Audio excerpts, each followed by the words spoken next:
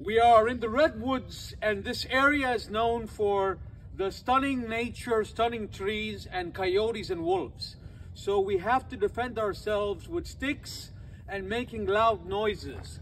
Oh!